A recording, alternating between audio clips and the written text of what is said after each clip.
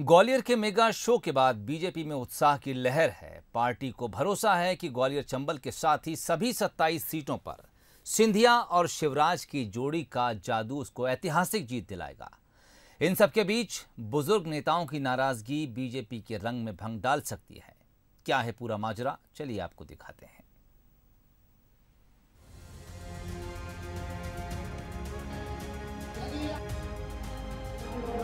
ग्वालियर में तीन दिन के मेगा शो के बाद बीजेपी कार्यकर्ताओं का उत्साह अपने चरम पर है। पार्टी को भरोसा है कि सिंधिया शिवराज की जुगलबंदी उपचुनाव में बीजेपी को ऐतिहासिक विजय दिलाने में कामयाब होगी। लेकिन लगातार सामने आ रही वरिष्ठ नेताओं की नाराज़गी बीजेपी के रंग में भंग डाल सकती है। पूर्व मंत्री और महाकौशल के कद्दावर नेता अजय बिश्नोई लगातार ट्वीट और चिट्ठी के ज़रिए पार्टी के फैसलों पर सवाल उठाते रहे हैं। सरकार और संगठन पर सवाल उठाने के बाद संगठन ने उनको तलब किया जहाँ बंद कमरे में प्रदेश अध्यक्ष बी डी शर्मा से उनकी बात हुई। मुलाकात के बाद बिश्नोई ने अपनी और महाकौशल की उपेक्षा की बात कही। उन्होंने कहा कि वो सिर्फ़ नाराज़गी को स्वर दे रहे हैं।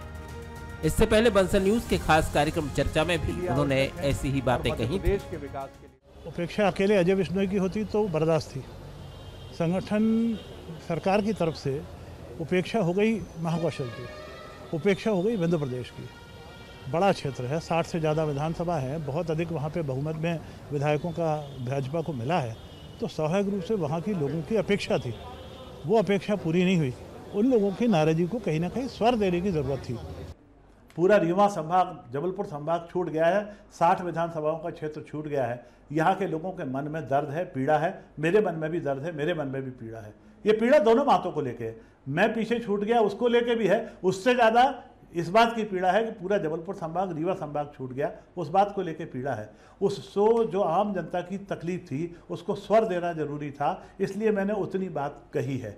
पर वो कहने के बाद मैं इस बात को कहना चाहता हूँ कि इस बात को हमको भी समझना होगा, हमको भी विश्वास करना होगा कि गठबंधन का अपने अपनी तकलीफ़ें होती हैं। वो गठबंधन की तकलीफ़ों से हम गुजर रहे हैं। ये गठबंधन को, हमको, धर्म को जो अपनाया है, इसको जब तक मैंने कहा ना, अंतिम परिणति तक हम नहीं पहुँचा देते हैं, जब तक हम स्थिर सरकार नहीं बना देते हैं, तब तक इसके विरोध में किसी प्रकार का भी स्वर उठाने का हमको कोई अधिकार, नैतिक कर्तव्य हमारा नहीं बनता, नैतिक अधिकार नहीं बनता है। अजय बिश्नोई की नाराज़गी बीजेपी में ना तो पहली है और ना ही आखिरी। बीजेपी में सिंधिया की आमद के बाद से संगठन के अंदर ज़बरदस्त हलचल है, जो कार्यकर्ता और नेता महसूस कर रहे हैं। उनके कुछ वरिष्ठ समय समय पर उनको आवाज़ भी दे रहे हैं। इनमें पूर्व मंत्री जयभान सिंह पवैया, पूर्व मंत्री अनूप मिश्रा और पूर्व मंत्री दीपक जोशी जैसे बड़े नाम शामिल हैं।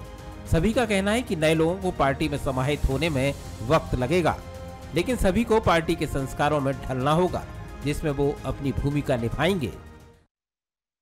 कभी कभी तो ऐसा होता है कि उस सत्संग में उस संसर्ग में कब विचार और संस्कार आने वाले हमारे नए मित्रों के भीतर चले जाएँगे कि आजीवन वो भगवान की यात्राधारी बन जाएँगे।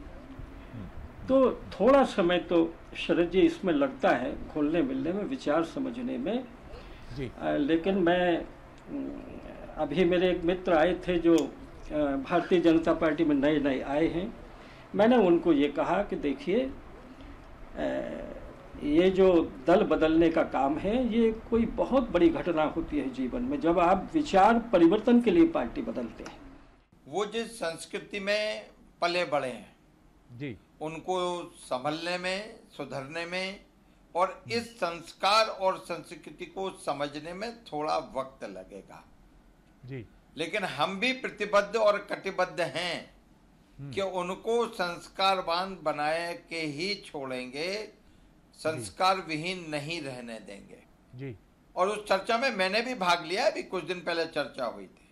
जी। और मैंने कहा था कि विचार बड़ा है इसलिए चिंता करने की आवश्यकता नहीं है। हम अपने विचार से नहीं हटेंगे। और उसको और पुष्ट करेंगे और इन सब लोगों को उस विचार के साथ जोड़ने का काम करेंगे।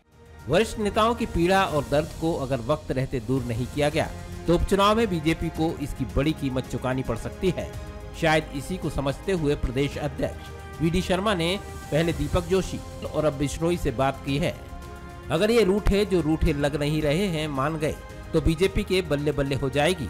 अगर ऐसा ना हो सका तो बीजेपी की चिंता समस्या में बदल सकती है। Bureau report Bansal news